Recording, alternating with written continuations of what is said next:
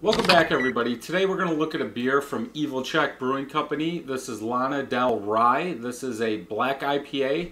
Per the can itself, it has a it is a 6.5% ABV and 35 IBUs.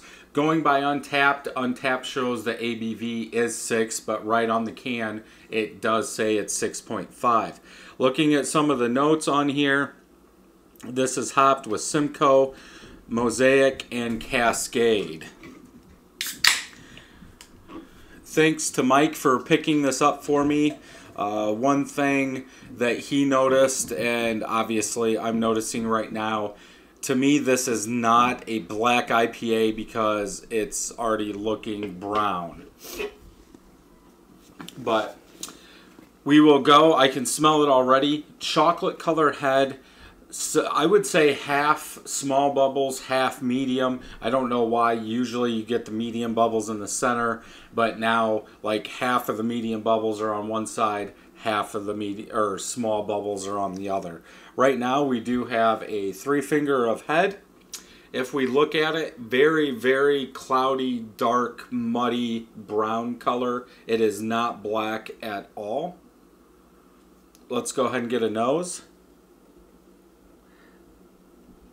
Big citrus, some fruitiness and pine smell in there. I'm not getting any alcohol, any roasted uh, malts or anything like that. Yeah, that's about all I'm getting. Big citrus with a little bit of fruitiness, then some pine in there. Pine's not overwhelming, but it is there. You do know it's there. Let's go ahead and get a taste.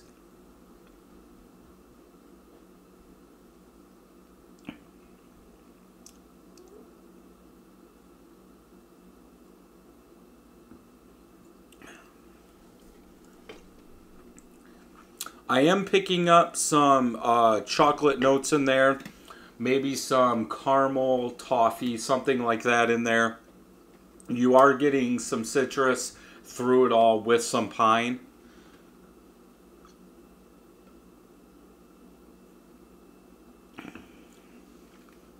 They do mention uh, bitter chocolate malts in the description, and you you are getting it and maybe that's why it's not as black. They're using some kind of roasted malt that's not like a black roast or a special roast or something like that.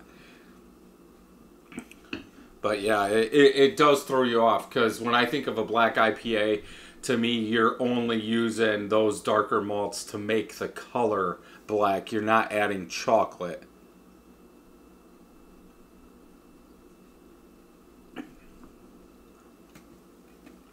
Kind of sweet in there. So yeah, you're getting the the chocolate up front with some citrus, maybe some fruitiness, a little bit of pine in there.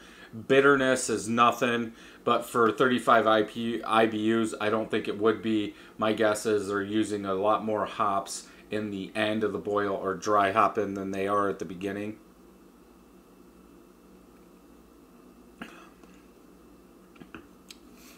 The smell does not, to me, blend well with the taste. You are getting a good smelling black IPA out of the smell, but I don't think you're getting it in the taste. It's a good taste to me, but it's it, it's not a IPA like a big IPA. I would probably have to go with a 4.2 out of five on this one. I love the smell, like I said. The taste is good with that kind of chocolate, bitter chocolate up front, then going back into the fruitiness, citrus, then a little bit of pine. But I would like to see the chocolate tone down because it is a black IPA. I, I don't think there should be that much chocolate, maybe some caramel in there. I don't think it should be there. Um, can date is 52517 or package date, I should say. So this is about two weeks old. Yeah, overall 4.25. That'll work for this one. Until next time, happy brewing. Thank you for watching this video. Thumbs up if you liked it, thumbs down if you didn't.